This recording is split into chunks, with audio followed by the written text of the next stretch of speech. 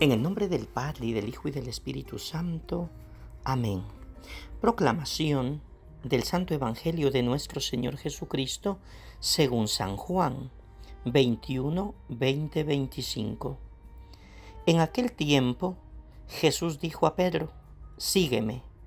Pedro, volviendo la cara, vio que iba detrás de ellos el discípulo a quien Jesús amaba, el mismo que en la cena se había reclinado sobre su pecho y le había preguntado, Señor, ¿quién es el que te va a traicionar? Al verlo, Pedro le dijo a Jesús, Señor, ¿qué va a pasar con éste? Jesús le respondió, Si yo quiero que éste permanezca vivo hasta que yo vuelva, ¿a ti qué? Tú sígueme. Por eso comenzó a correr entre los hermanos el rumor de que este discípulo no habría de morir. Pero Jesús no dijo que no moriría, sino si yo quiero que permanezca vivo hasta que yo vuelva, ¿a ti qué? Este es el discípulo que atestigua estas cosas y las ha puesto por escrito, y estamos ciertos de que su testimonio es verdadero. Muchas otras cosas hizo Jesús, y creo que, si se relataran una por una, no cabrían en todo el mundo los libros que se escribieran. Palabra del Señor, gloria a ti, Señor Jesús. Bendiciones fraternas para todos en este sábado de la séptima semana de la Pascua, prácticamente ya la víspera de la solemnidad de Pentecostés. Hoy la iglesia celebra a San Agustín de Canterbury. Fue enviado por el Papa Gregorio Magno a Inglaterra junto a un grupo de monjes romanos para predicar el Evangelio a los sajones, establecidos hacía poco por allá en el siglo VI.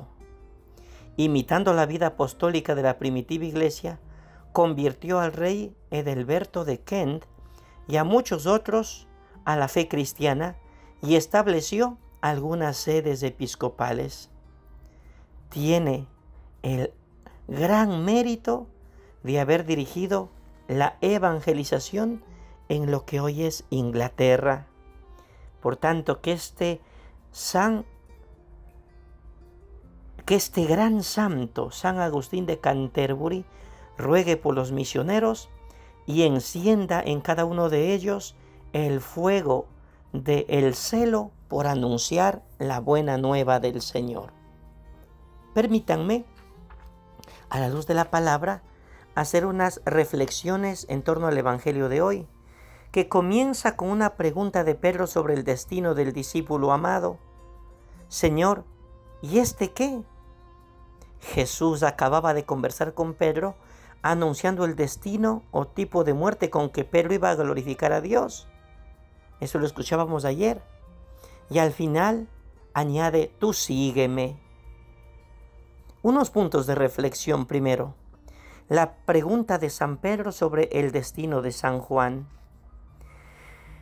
Pedro se volvió y al ver al discípulo amado que sigue a Jesús y a quien Jesús ama, Pedro pregunta, Señor, ¿y a este qué le va a ocurrir?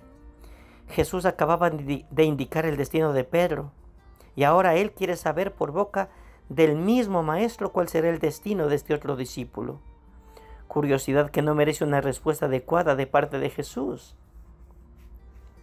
Segundo punto, la respuesta misteriosa de Jesús. Si quiero que yo quede hasta que tú, si quiero que yo se quede hasta que yo venga a ti, ¿qué te importa? Tú sígueme. Es decir, tú haz tu parte, deja que los otros hagan la suya. Esta es una frase misteriosa que termina con la misma afirmación que antes, sígueme. Parece como si Jesús quisiera borrar la curiosidad de Pedro, así como cada uno de nosotros tiene su propia historia. Del mismo modo, cada uno tiene su manera de seguir y de servir al Señor.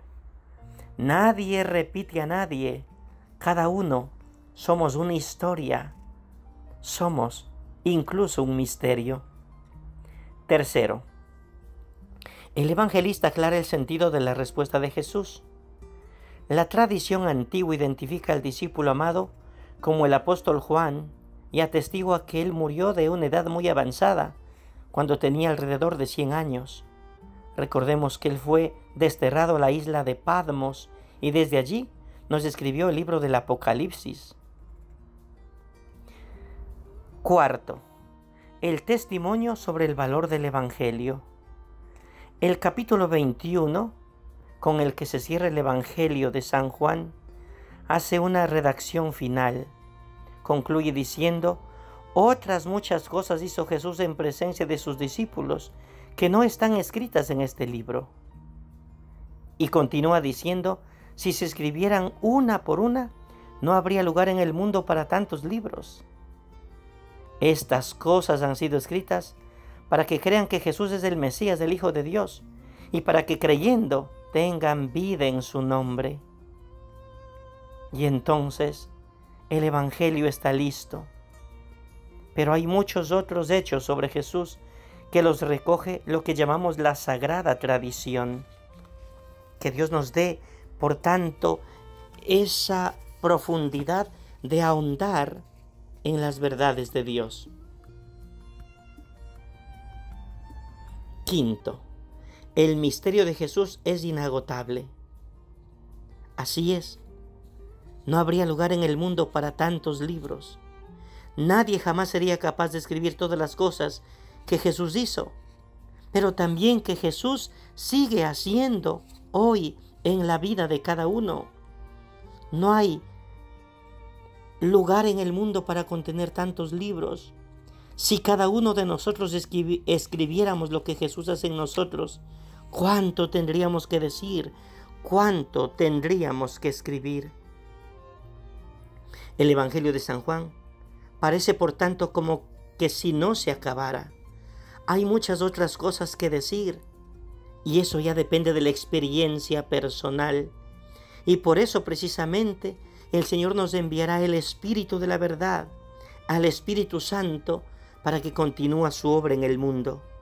Porque la finalidad de todo el Evangelio, como dice San Juan en su primera conclusión, es que todos crean que Jesús es el Mesías, el Hijo de Dios, y para que creyendo tengan vida en su nombre.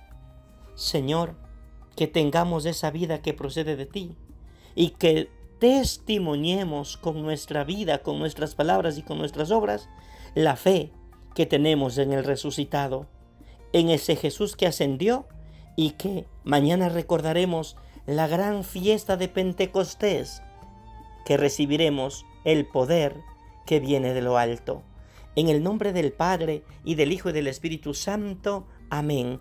Que tengan en esta noche una feliz vigilia esperando la promesa de Jesús, la promesa del Espíritu, así sea. Pasen bien.